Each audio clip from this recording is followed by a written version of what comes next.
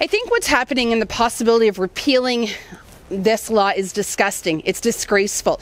I represent and I stand here with my executive representing our supply and casual members who don't have sick time.